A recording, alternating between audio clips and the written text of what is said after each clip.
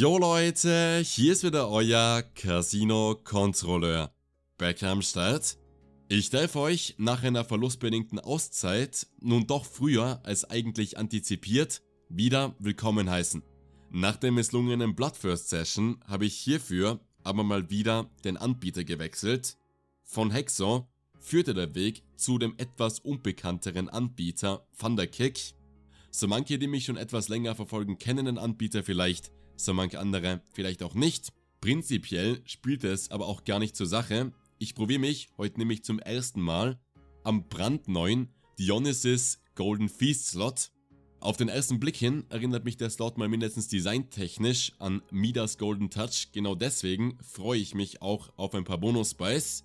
Eine gewisse Ähnlichkeit ist ja auch irgendwie gegeben. Ich meine, sei es Midas oder eben Dionysus, sind beides mal mindestens Götter in irgendeinen Sinn.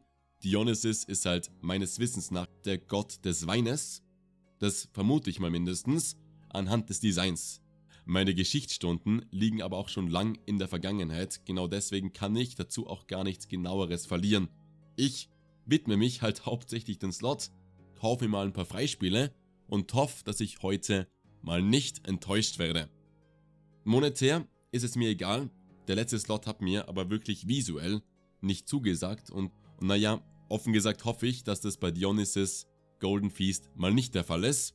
Bevor ich jetzt aber noch stundenlang quatsch, starte ich mit dem ersten 850 Euro Bonus. Währenddem wir uns die Animation anschauen, möchte ich kurz ein Wörtchen zu meinem nun erstellten Gewinnspiel verlieren.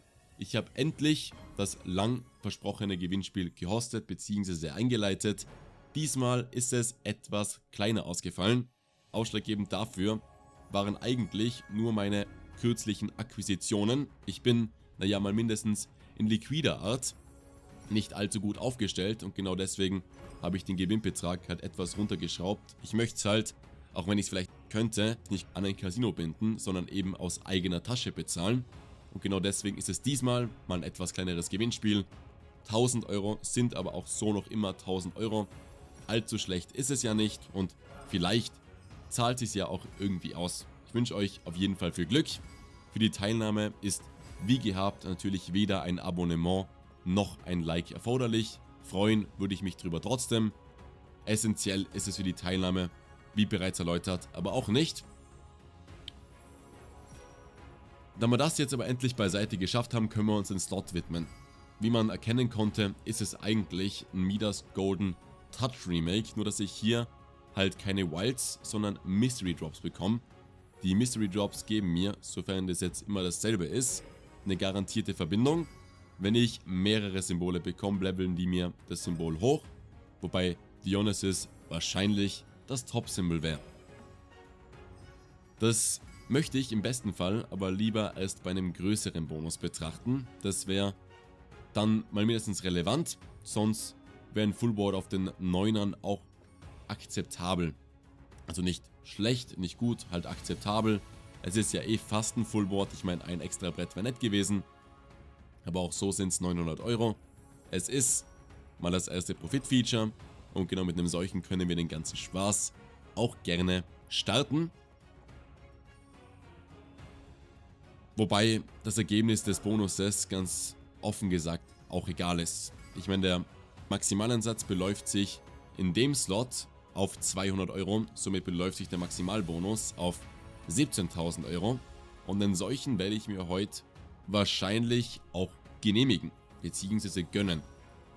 Ob sich dann auszahlt oder eben nicht, wird sich zeigen. Ich habe in den letzten Tagen eh seltenst gespielt, bis auf den Bloodfirst Abstecher und ein paar Crazy Time Runden lief es im Großen und Ganzen eh ganz solide.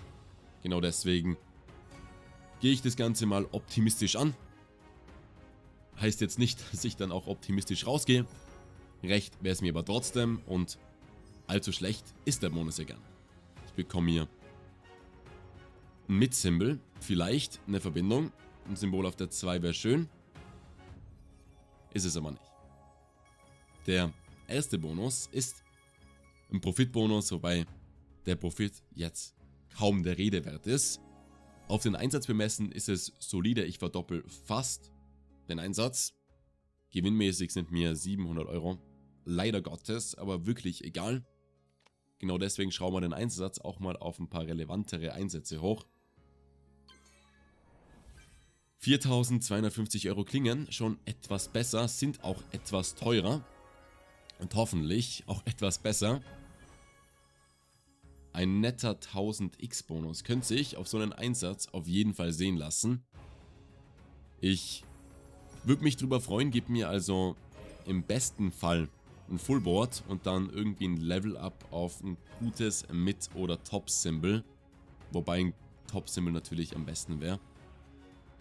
10er all the way könnten das Ganze aber auch ganz gut starten, wobei ich schon ein paar Drops bräuchte.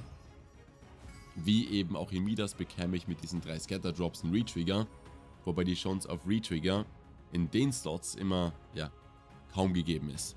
Genau das bekommen wir auch zu Gesicht. Es sind da diese Respin-Slots, da bräuchte ich schon eine Menge Glück und das bleibt mir mal mindestens noch verwehrt. Insgesamt ist der Bonus sowieso zum Vergessen. Ich habe 4250 Euro auf den Tisch gelegt und bis zum jetzigen Zeitpunkt ziehe ich nicht 1000, nicht 500, sondern 0 Euro wieder.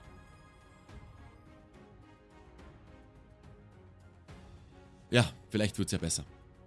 Mit, ja, Deadspin nach Deadspin nicht. Irgendwie könnte es aber auch so noch ausgehen. Ich kriege hier auf jeden Fall mal ein paar Zehner und ein paar Neuner. Wobei, ja, das Gesamtplacement zu wünschen überlasst. Es ist halt wieder zum Vergessen, ich bekomme natürlich auf den bis dato größten Einsatz den schlechtesten Bonus. Wobei ich das vielleicht etwas zu früh sage. Schlecht ist der Bonus, das stimmt. Bei dem Einsatz kann ich mich aber auch kaum beschweren und naja, wenn ich jetzt irgendwie ein paar Jacks verbinde, wäre ich auch so gut im Geschäft gewesen. Diese Wilds geben mir ja immer einen Zweier-Multi und die Multis addieren sich gegenseitig. Das heißt, ein Fullbild hätte mir jetzt selbst auf Jacks locker 15.000 Euro gezahlt. So wird's vielleicht ein Hit oder keiner. Insgesamt ist es ein schwieriger Bonus. 750 Euro Cashback sind für ein 4000 Euro Feature halt kaum der Rede wert. Ohne extra Hits wird es auch nicht mehr. Es ist halt ein Hit auf dem Zweier. Es sind 1200 Euro. Insgesamt ist es, ja, ein Drittel Cashback. Gesehen hat man schon Schlechteres. Freuen kann ich mich über einen 2300 Euro Verlust. Aber auch nicht. Und, ja. Genau deswegen schrauben wir den Einsatz wieder ein bisschen hoch. Diesmal verdoppeln wir aber nicht. Ich gehe mal auf 75, kaufe mir also ein 6400 Euro Feature. Je nach Resultat des Bonuses probiere ich mich post des Features eben an einem 17.000 Euro Bonus oder halt auch nicht. Wir werden sehen. Wenn es ein gutes Feature ist, kaufe ich mir vielleicht noch ein Pendant, sonst wird es wahrscheinlich sofort der Max-Bonus.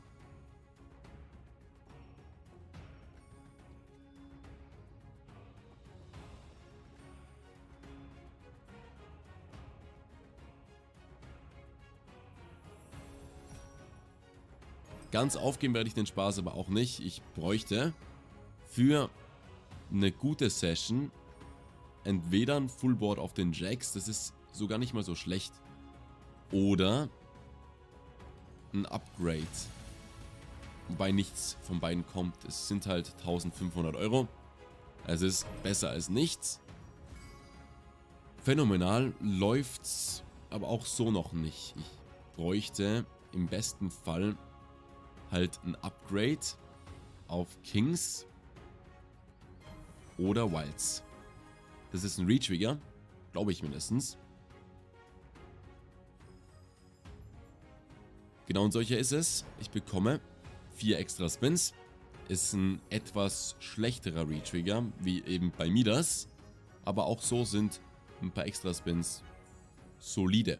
Ich save mir auch mal einen Neuner. Wobei ich halt trotzdem ein paar Verbindungen bräuchte. Ohne die wird's nichts. Und auch wenn ich es mir irgendwie einreden möchte, kommen die Verbindungen noch nicht. Geschweige denn es wird ein Fullboard auf den Kings. Ich meine, diese Line ist zum vergessenen Fullboard wäre eigentlich gut gewesen. Das zahlt 150x, 200x. Das hätte also allenfalls gereicht. Sonst sind ein paar Level-Ups auch okay. Ich bekomme jetzt Aces. Könnte man verbinden. Mal mindestens mit ein bisschen Optimismus. Jetzt wäre eine Verbindung von Nöten, kommt natürlich nicht.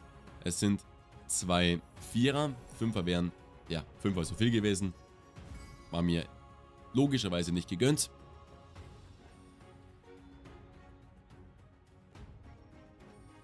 Insgesamt kann ich mich bei dem Ergebnis aber auch nicht beschweren. Ich kriege hier fast ein Fullscreen, näher mich langsam aber sicher auch dem Break-Even-Bonus.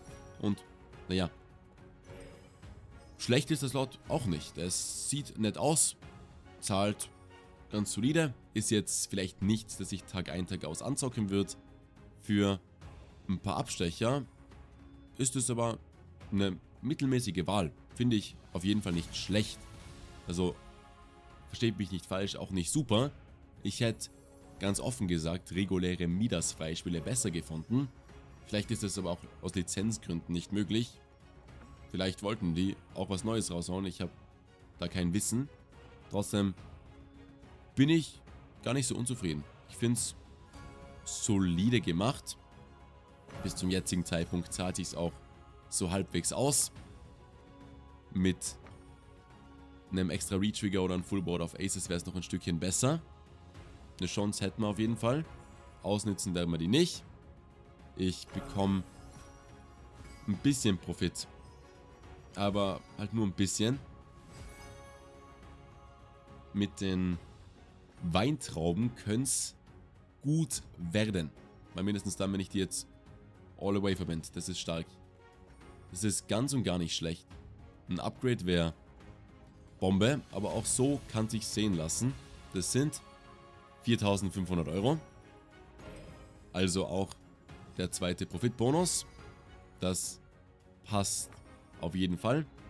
Kommen wird im letzten Spin wahrscheinlich nichts und genau, naja, das tritt auch ein. Trotzdem ist es ein Profit-Feature. Ich gewinne ein bisschen was, drücke jetzt vorm Kauf des letzten Bonuses auch noch ein paar Spins durch. Tut mir leid, dass ich mich gerade ein bisschen verdrückt habe. Ein paar reguläre 200 Euro Spins sind aber auch so noch drin. Vielleicht kommt was, vielleicht auch nicht. Ich würde mich auf jeden Fall drüber freuen, wobei das insgesamt unwahrscheinlich ist. Vielleicht kommt es trotzdem, gib mir ein drittes Getter. Das ist ein Bait. Ja, schade. Auf 25.000 Gehen wir trotzdem runter, dann kaufe ich mir eben einen Top-Bonus. Vielleicht gewinne ich bis dahin auch irgendwie ein bisschen was. Ein paar Spins habe ich auf jeden Fall noch. Dann wird es ein Top-Bonus. Und nach dem Top-Bonus werde ich es dann auch belassen. Bis zum jetzigen Zeitpunkt hatte ich eine Menge Spaß. Vielleicht zahlt sich der Spaß auch noch irgendwie aus ein paar Spins mache ich auf jeden Fall noch runter auf 27.000. Dann kann ich mir einen 17.000 Euro Bonus kaufen und selbst nach dem Feature wären noch 10.000 Euro über. Damit könnte ich dann auch ganz okay leben, wobei ein 14.000 Euro Verlust mir ja auch nicht 100% recht wäre. Soweit kommt es aber gar nicht. Ich hole mir jetzt einen Maximalgewinn. Es ist auf jeden Fall ein gewisses Risiko, das ich hier eingehe. 17.000 Euro sind zum Zeitpunkt der Aufnahme halt doch um die 0,7 BTC. Mal mindestens dann, wenn ich es jetzt richtig im Kopf gerechnet habe. Kann sein, dass ich mich ein bisschen verrechnet habe. Es kann auch sein, dass es 0,8 BTC sind. Wenn ich das jetzt richtig kalkuliert habe, naja, sind es auch um die 0,8 BTC.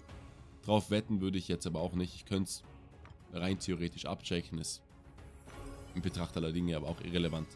Ich brauche ohnehin, unabhängig vom Einsatz, einfach ein paar gute Verbindungen. Wenn die kommen, sind wir im Geschäft. Wenn die nicht kommen, wird es halt nichts. Typisch wäre es, wenn ich im letzten Bonus eine Klatsche kassiere. Vielleicht werde ich heute aber mal mindestens oder mal irgendwann eines Besseren belehrt. Ein 7200 Euro Hit ist hierfür ein ganz guter Einstand. Ein zweiter von der Art wird mir eigentlich schon den Arsch retten. Vielleicht kommt er gleich, gibt mir noch ein paar Queens, zwei, drei Fulllines und ein Wild. Ja, etwas schlechter, aber selbst 1000 Euro nehme ich mit. Zwei Gold Symbols sind nicht schlecht. Bekommen Aces. Mit ein bisschen Optimismus könnte ich ein paar verbinden. Ich drück auf jeden Fall mal die Daumen. Gib mir bitte, bitte, bitte noch ein paar extra Symbols. Oder einen Retrigger. Oder gar nichts. Es wird, so wie es aussieht, wahrscheinlich ein Minus-Feature, geschweige denn ich krieg 9er. Ja, Jacks sind hart. Ein Upgrade ist aber auch so okay. Ein paar Kings passen besser, zahlen das eineinhalbfache. Kommen sogar, mindestens mal zum Teil. Auf der 4 werden jetzt ein paar Kings gut, lassen sich aber nicht sehen. Trotzdem ist es insgesamt ein akzeptables Resultat. Mit Glück gehe ich mit über 20.000 Euro raus, sonst verliere ich im schlechtesten Fall halt um die 5.000 Euro und damit könnte ich leben. Das wäre mir ganz offen gesagt recht egal. Heißt jetzt nicht, dass ich nicht lieber gewinnen würde. Und solcher Gewinn wird, so wie es aussieht, aber nicht kommen. Und genau, so ist es auch. Ich verliere beim ersten Thunderkick-Abstecher im Jahr 2023 ein bisschen was. Beschweren möchte ich mich heute aber gar nicht. Ich habe ein bisschen was umgesetzt, habe nicht viel verloren. Genau so soll es laufen. Und genau so kann ich auch gut leben. Über ein Like und ein Abo würde ich mich trotzdem freuen. Cheers!